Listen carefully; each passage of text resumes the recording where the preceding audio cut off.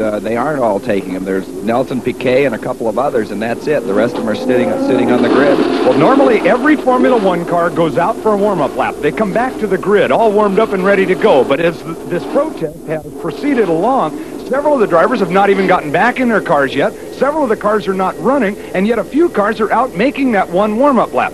And when they come back, they could be looking at a start. It's hard to say what's going to happen. There's Carlos Reutemann. He's got some sort of a problem. He's discussing with Frank Williams. I have no idea what that's all about. Williams is pointing at his watch. For some reason, time appears to be a factor. Well, it should be. We're about down to about a minute and a half to start, if I've got my clock right. And still, cars are coming back up into their grid, yet others have not even gone around. There's Carlos Patrese back there waving. He's got some sort of, now he's waving more frantically. He uh, probably has stalled his engine or is overheating something. Piquet just came back and overshot his position. That's illegal the way I interpret the rule book.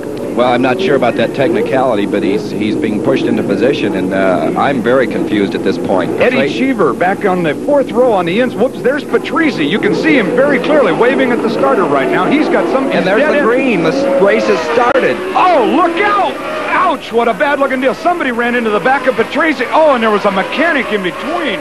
It's his own teammate, that's Siegfried Stohr. Oh, what a sickening way to get. Oh, there it is. It's Siegfried Storer, the other driver, getting out of his car right now, and the mechanic was out trying to get the other car started as they use an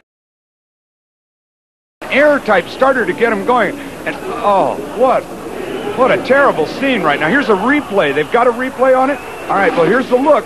Coming right up, and there is a mechanic stuck right in there between at the point of impact. It looks like Siegfried Stohr didn't have a chance of stopping. He hit his brakes right at the last second, but no way of stopping because he was blinded by the car he was following, and then he made that cut, and there was his teammate. They're going to have to black flag this. They can't let this race go on, can they? I wouldn't think so. All right, well, they're out there right now, so let's let's go ahead with the race action. Out in front of it, let's see. It looked like Nelson Piquet in front as they come around. And it is Nelson Piquet and a Parmalat Brabham car in front of it as they lead on lap one, if it is lap one. There wasn't a whole lot of damage to the cars, but uh, unfortunately that mechanic was right between it. They're still racing, but they're I'm sure they're going to stop, but they're trying to uh, slow the cars down now. You would expect them to stop. Let's see what happens as the guys all come by here now, and they're still hard on the throttle. That it, typical of racers, they're not going to stop until they see either a black or a red flag that actually stops them. But now they can see the severity of the incident. Uh, Piquet's still running strong, and there you see uh, Sir went off in the grass, it looked like.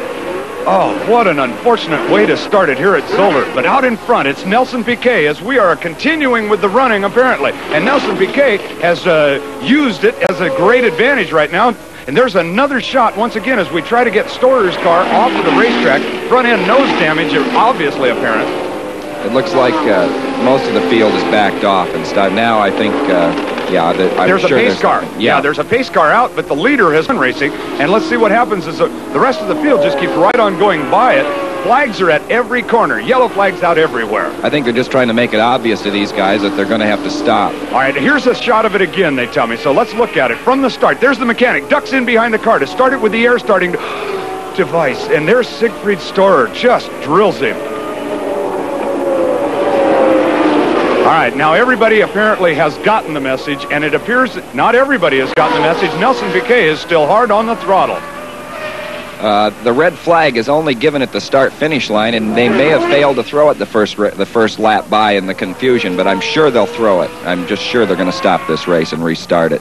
Well, obviously the starter is not having his best day as they all come by the incident one more time, and it looks as though now they are all coming to a halt, and uh, I think we will have a restart. We'll come back to Belgium and find out.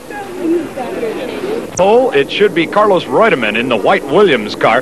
Next to him will be Nelson Piquet in the blue and white Brabham. Then go back to the second row, the bright red Ferrari of Didier Pironi. Then a blank open spot where Riccardo Patrese will be unable to continue and the hole will be left there. Move back into that next row and find John Watson in the McLaren, Alan Jones in the white Williams, uh, Gilles Villeneuve in the other red Ferrari, and Eddie Cheever in the dark blue car, which is a Tyrrell. Well, all the cars have had their, their proper warm-up lap, and we're getting very close to a start. Well, let's hope this start goes better than the other one. Watch them closely. Green flag, and they are away. And still, from a standing start, Formula One cars are one of the most awesome sights coming off the line. There goes Pironi, comes from the second row and gets by Reutemann for the lead into the first turn. All right, Didier Pironi driving the Ferrari, the very bright red-colored Ferrari that is just making nothing but gobs of horsepower. And this is the early stages of the race. Look at Peroni pull